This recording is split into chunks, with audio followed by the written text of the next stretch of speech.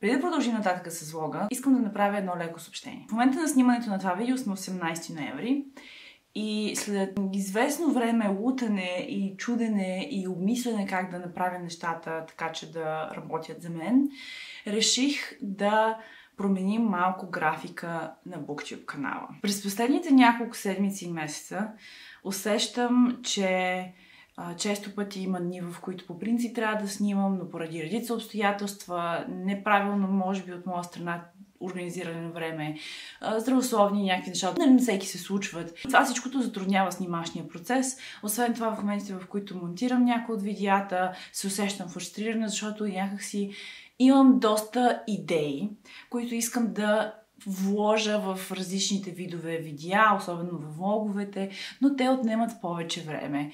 И нещо трябва да се промени. Нещо трябва да се промени, иначе нещата ще излезнат извън контрол. Освен това, аз имам и някои други приоритети професионални, за които не винаги ми остава време и много лесно си в моментите, в които съм фрустрирана и нещо не ми допада как е станало в професионално отношение, се връщам към нещо, което ми е комфортно и удобно, т.е. BookTube канал. Мен BookTube канал ми е много така safe space и удобно място и удобно ми е да правя видеа, които съм правила 5 години вече. Та понякога избягвам от отговорност в BookTube канала. За да разрешим всички тези неща, за да се фокусирам малко повече професионално в нещата, които трябва да върша и същото време да запазя или да, даже да повиша качеството на нещата, които поставям в BookTube, реших, че не ми е по силите да правя по две видеа на седмица и тъй като не искам изцяло да спирам, защото аз не се отказвам от BookTube толкова лесно, реших да се върнем на график от едно видео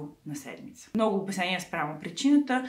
Факт е, че през следващите няколко месеца вниманието ми наистина трябва да е фокусирано в определени неща и трябва да прекарам колкото се може повече време вършейки тях, което остава по-малко време за снимане и обработване на BookTube нещата. В същото време аз не искам да претупвам видеята само за да ги изкарам на време. Искам те да си отговарят на стандартите или поне на моите желания, така че реших, че най-добре е да намалим броя видеа за сметка на качеството. Затова в следващата седмица ще има само по едно видео. В кои дни ще бъде, все още не е тотално решено, но мисля да запазя неделният календар и в неделя да излизат книжните видеа. От гледна точка на това какви видеа ще излизат, ще бъде смесено, защото аз страшно много харесвам да правя влоговете и влоговете в този момент и в това място, в пространството и времето, са нещо, което най-много ми харесва да правя, така че влогове ще има, но от време на време искам да правя някакви други неща, особено, че сега идва край на годината и аз бях планирала доста така тематично за най-добрите книги през 2022, тир листове на прочетените книги през втората половина на годината, букхолове на книги, с които съм се здобила и не съм ви показвала маграм въобще.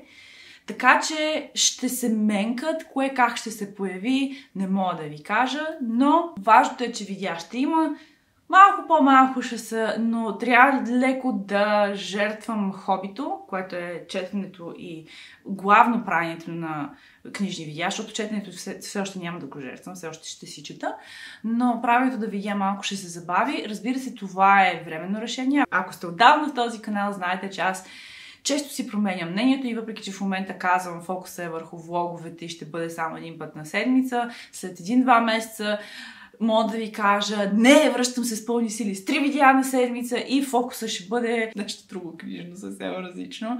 Такива неща се случват, ама то затова и пространство си е мое и аз се чувствам, що годе свободна да правя много а, промени, така че да пасва на моята природа и на моето настроение в момента, за да си улесня правенето на тези видеа. Защото ако правенето на хобито ме затруднява толкова много, няма да ми е кев да го правя.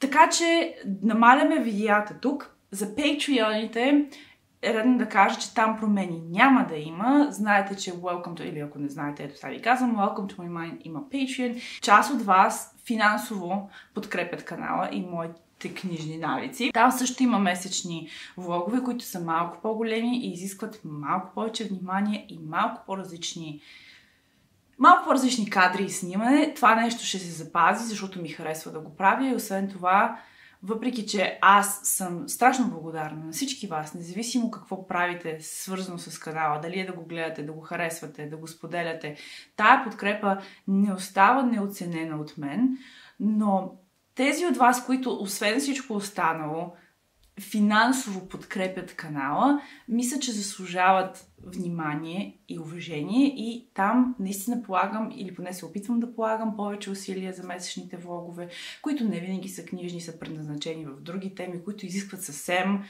различна нагласа на снимане там вниманието ми ще продължи да се фокусира, защото аз много харесвам да правя тези видеа и ако ви имате интерес да ги гледате, може да се присъедините към Patreon, знайки, че по този начин подкрепяте моето четене. Парите от Patreon отиват за купуването на нови книги, за сторите абонаменти и така нататък. Всичко в подкрепа на любовта ми към книгите и фентазито и драконите. Та така, толкова със съобщението. От тук да сетне по едно видео на седмица. Благодаря за вниманието. Сега насладете се на влога.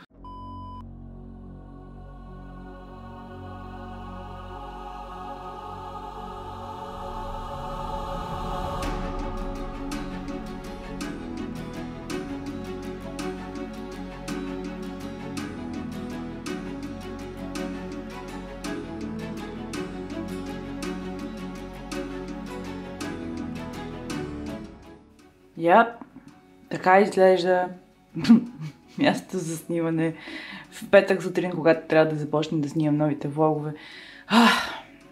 трябва да разчисти малко.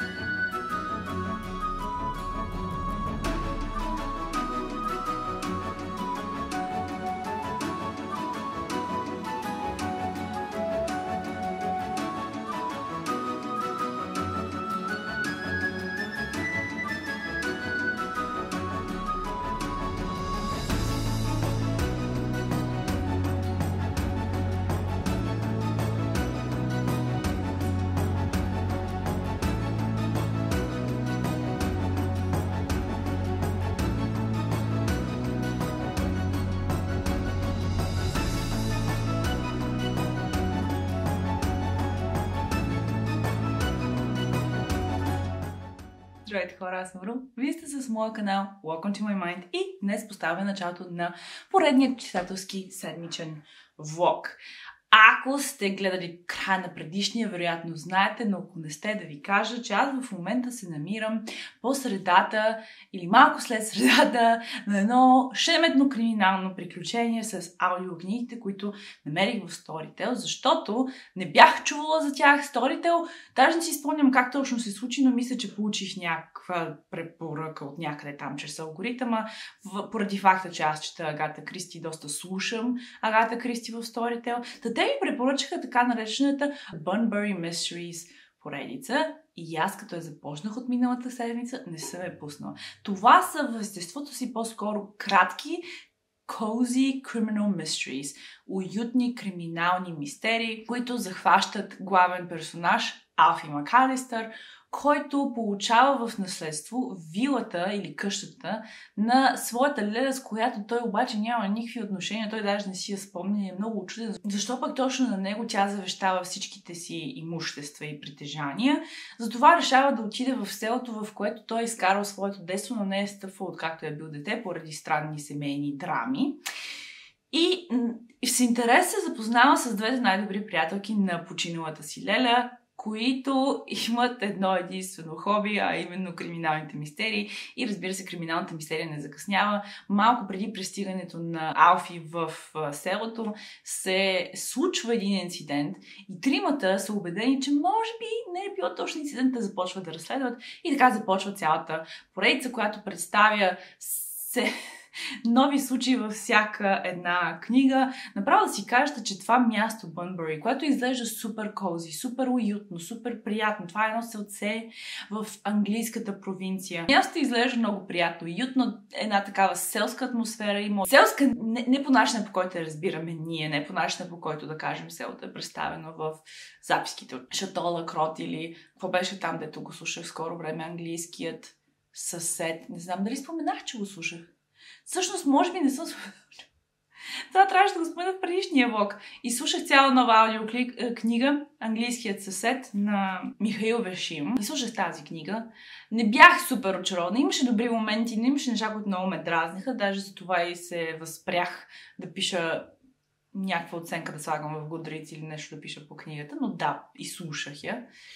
Та, не прилича на атмосферата в тези романи, а по-скоро на атмосферата, която имат е, селцата в Западна Европа, така да го кажем, защото там някакси, пак всички се познават, но има много повече много повече социален живот, тай така да го кажем. Има повече заведения, има гостилници, има фризерски салони, има железарийници, да кажем, или пък дори цели спа козметични студия.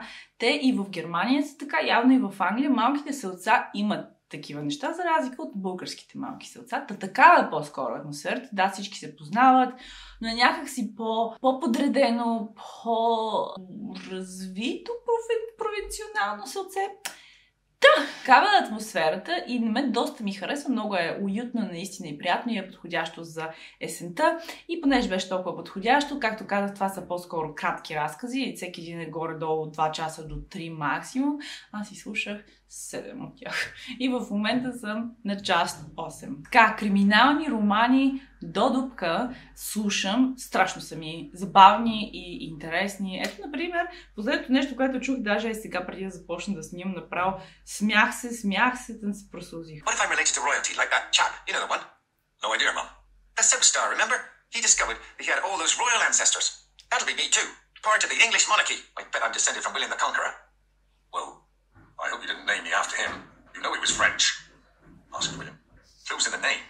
Otherwise, it would have been William the King who was here all along. Edith sniffed. All right then. Henry VIII. He was Welsh. Oh, for heaven's sake, said Edith impatiently. James the First, then. The one that Shakespeare wrote plays for. Scottish. With a cheeky grin and a nod to Lorna. William disappeared again. Of course he doesn't care, said Edith. Married an Italian. Her expression softened slightly. Може би е по-забавно, ако знаете, че че тя не харесва италианската си снаха и е, всъщност те, те държат ресторант заедно и доста се бъркат, че тя иска типична английска кухня, докато снахата представя вегетариански и италиански специалитети. Та, голям успех. Толкова за криминалните мистерии, това са аудиокнигите, които слушам, но реално чета и нещо а именно The Bone Shard Daughter на Андрея Стюарт. Това е книга първа от поредицата The Drowning Empire, на която има излезнали до този момент две книги. За съжаление не съм много сигурна, въобще всъщност не съм сигурна, грам идея си нямам дали я има на български. Мисля, че я няма, но не знам, може пък в някакъв момент да бъде издадена, така че следете, защото на този етап изглежда доста интересно. Аз съм на страница 152, а историята е, че се намираме в империя. Императорът е, така да се каже, император, защото притежава специални магични способности. Магията в, този, в тази книга се концентрира върху костите, тези, които я владеят, използват човешки костни частици, айде така да го кажем, за да захранват едни такива конструкции, които са малко като чудовището на Франкенштайн, защото са сглобени от всякакви различни други части, животински най-често, и изпълняват различни функции и този, който владее магията, той има всъщност сила над тези конструкции, те го следват неотлучно и безропотно изпълняват неговите команди. Та императорът е този човек в тази история и чрез тази магия той пази своята империя от страшните и врагове. Неговата дъщеря Лин обаче е жертва, не знам по каква причина, никой не знае и тя не знае, на страшно силен случай на амнезия. Тя забравя първите 15 или 16 години от своя живот. Тя е на около 20 годишна възраст. И въпреки, че се опитва да освои магията от баща си, така, обучението е трудно и той самия казва, че ако не си възвърне спомените, няма да бъде обявена за неговът наследник. Това ще премине в ръцете на така да се каже, осиновеният син, който показва по-завидни магични способности от нея.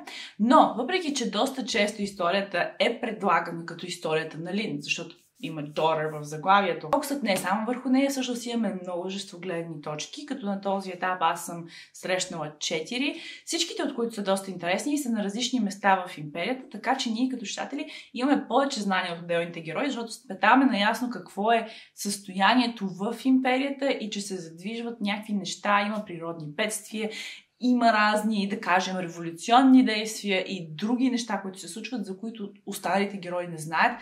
Така че ние сме по-информирани. Е доста интересно. Харесва ми стилът на авторката на този етап. Мисля, че е доста лесен за четене. Освен това, тя има някакъв афинитет към тема, която на мен ми е интересна. А именно лъжите, измамите, как да манипулираш хората, езика на тялото, изразяването на емоции или прекриването на емоции. Тези теми са силни в няколко от героите, които следим. Така че на този етап аз имам огромен интерес. Чета я бавно, защото напоследък като чили не ми се чете чак толкова много. Не знам как да го обясня. Не, че, не, че нещо станало, не съм в криза, спокойно, не съм в дупка. Но определено интереса ми е към някои от сериалите, които гледам и към нещата, които правя извън BookTube. Така че за четене остава малко по-малко време, но за слушане пък има доста време. Това е причината да изслушам 8 криминални романчета. Но вечер си чета Bone Shard просто малко по-бавно ще минаваме през нея. И така, така започва читателска седмица. Надявам се да ви е интересно. По принцип, Отзад за тези къщи има баирчета, зелено, хълмче. Мъглата е толкова гъста цял ден. Добре дошли в Германия 80% от времето.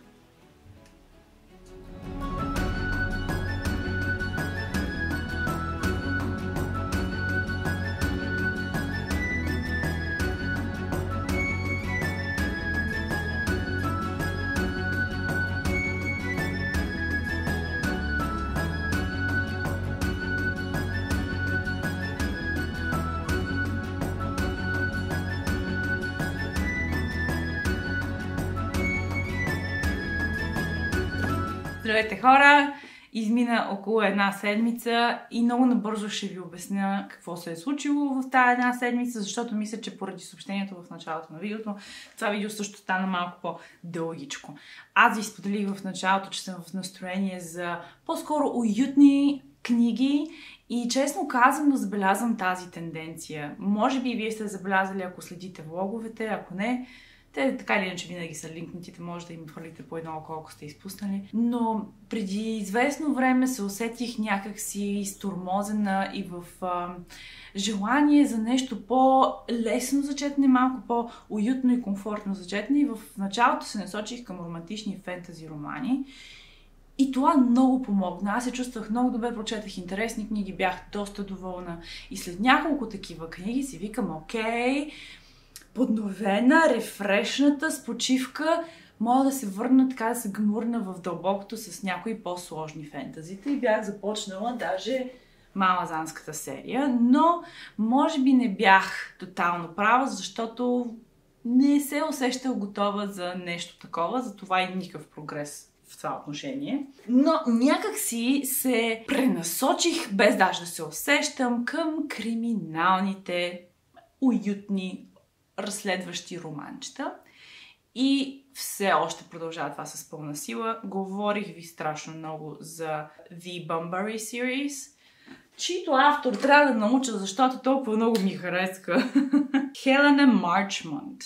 Аз ви обясних за тях. 13 части, много кратки, по-скоро от рода на разкази. И в момента аз се намирам на последният от тях, а именно 13-я.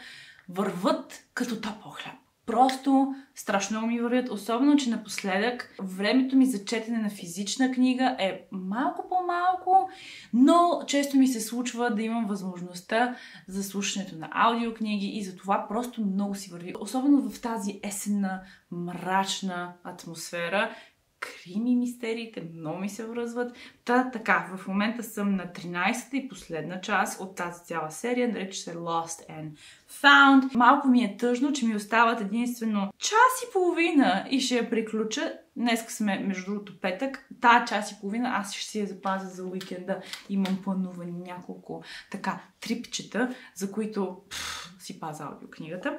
Иначе, въпреки, че да, нямам много време или поне времево, нали, проблема, както говорих в началото, е въпрос на моята лична организация. Но, може би защото, както казах, не съм напълно готова да се гмурна в нещо по-сложно, като фентази, магична система и така нататък. Четенето физически на книгата също е навик, който малко така променя ми се по-рядко. На този етап ми остава време да отворя книга. Въпреки, че когато я отворя, се чувствам много добре и страшно заинтригувана от книгата, а именно The Bone Shard Daughter на Андрея Стюарт. В момента съм на страница 205. Сядам, може би един път на ден, през ден-два, даже се случва и прочитам по една до две глави. Наистина, на час по лъжичка. Доста бавно минава четенето на тази книга, но е интересно. Харесват ми всичките гледни точки, интересни са ми и продължавам. Не се спирам, не си мислете, че ще има захвърляне поне на този етап. Книгата ми е страшно интересна и съм горе-долу почти на половината.